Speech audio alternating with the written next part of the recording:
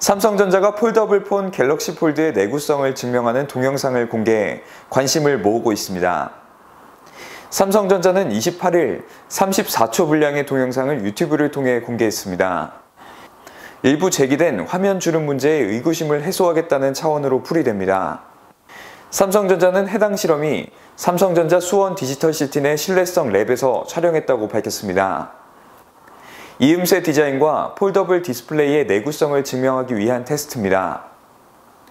동영상에서 갤럭시 폴드 6대는 로봇으로 쉴 새 없이 접혀지고 또 펼쳐지면서도 한 차례도 디스플레이 주름이 생기지 않았습니다.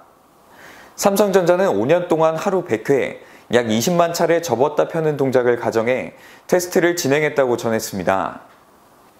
한편 갤럭시 폴드는 내달 26일 미국을 시작으로 5월 3일에는 영국과 프랑스, 이탈리아, 스페인 등 서유럽을 중심으로 순차적으로 선보일 예정입니다. 미국과 유럽에선 4G LTE 모델만 출시되고 우리나라는 5월 중순 5G 모델로 출시할 예정입니다.